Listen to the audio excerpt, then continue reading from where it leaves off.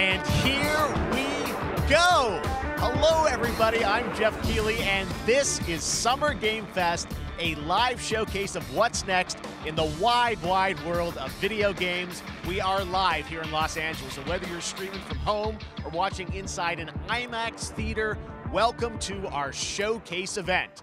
Over the next few hours, we'll give you updates on the games you love, be joined by special developer guests, and yes, have a few surprises along the way, too.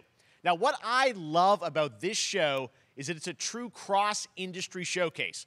Whether you play on Xbox, PC, PlayStation, Switch, or mobile, we'll have games for you. It doesn't matter your platform of choice.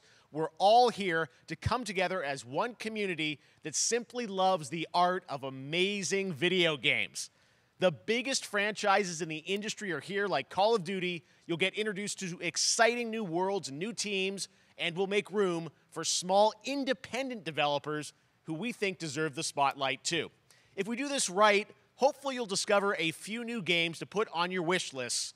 And even if you don't get every announcement that you desire, and let's face it, you're not going to get everything today, but we've got a lot of great stuff. So let's get started.